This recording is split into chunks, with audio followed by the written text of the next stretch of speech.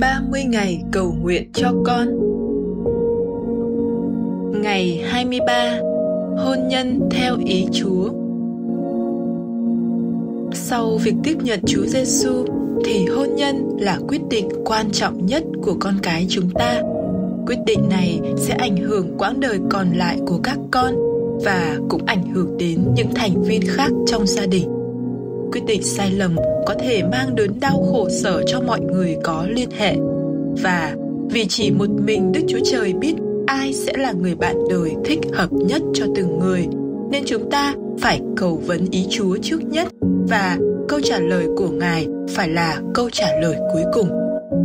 Đám cưới linh đình không tạo ra hôn nhân toàn vẹn, chỉ Đức Chúa Trời mới có năng quyền làm được chuyện đó. Kinh Thánh nói, trong lòng loài người có nhiều mưu kế, song ý chỉ của Đức Giê-hô-va sẽ thành được.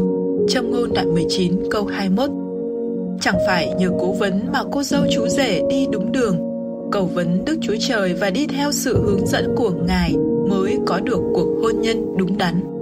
Và chỉ sự cầu nguyện mới giúp con cái chúng ta liên tục tìm kiếm ý muốn Đức Chúa Trời thay vì chạy theo tình cảm riêng của mình. Thánh linh Đức Chúa Trời duy trì hôn nhân, còn thiếu vắng thánh linh thì hôn nhân bị hủy hoại. Ngay từ bây giờ, hãy cầu xin thánh linh thay vì để cho tư tưởng ly hôn điều khiển tương lai con bạn. Ly hôn là một phần của tinh thần thời đại nay và ý tưởng đó đe dọa từng người lúc này hoặc lúc khác.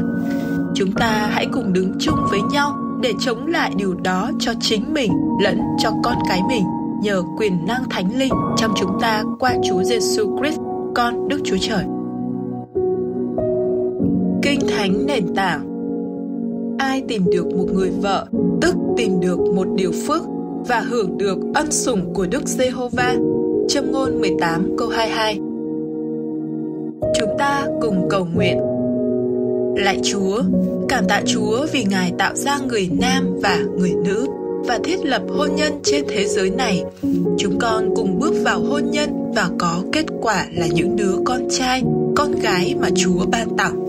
Con nhận biết rằng hôn nhân không theo thánh ý của Chúa sẽ là buồn thảm và đau khổ. Giờ này con đến với Chúa và cầu nguyện cho vấn đề hôn nhân của tên các con của bạn. Cha ơi, nếu Ngài không kêu gọi các con sống độc thân để phục vụ Chúa, thì con cầu xin Ngài cho các con gặp được người bạn đời xứng hợp. Xin Chúa sai người chồng, vợ thích hợp đến đúng lúc và hướng dẫn rõ ràng cho các con biết người đó là ai. Xin cho các con biết kiên nhẫn chờ đợi Ngài, hết lòng tin cậy Ngài, chứ không vội vàng đi theo cảm xúc và sự khôn sáng riêng của mình để các con tìm được người Chúa đã dành sẵn cho.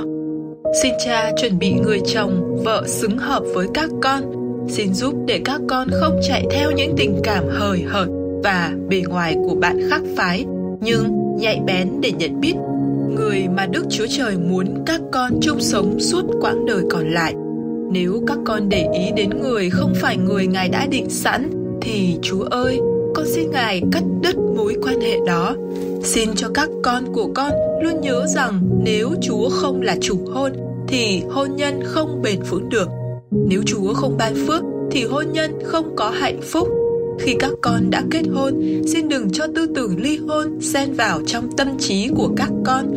Con cầu xin Chúa giúp để đừng bao giờ có sự lạm dụng thể xác, tình cảm hoặc tinh thần dưới bất kỳ hình thức nào nhưng xin cho sự hiệp nhất trong tinh thần tình cảm thể xác sẽ không bao giờ bị phân rẽ giữa vợ chồng tương lai của các con con cầu xin cho các con được giải thoát khỏi ý tưởng ly hôn.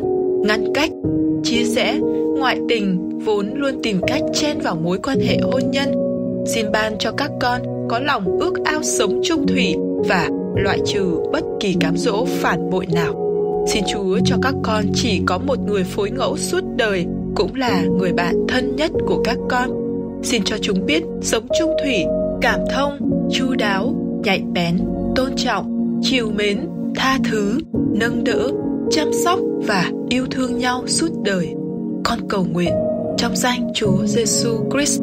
Amen. Trích dẫn theo tài liệu, Năng lực trong lời cầu nguyện của cha mẹ Tác giả Stormy O'Martian Nguồn, Hội các bà mẹ cơ đốc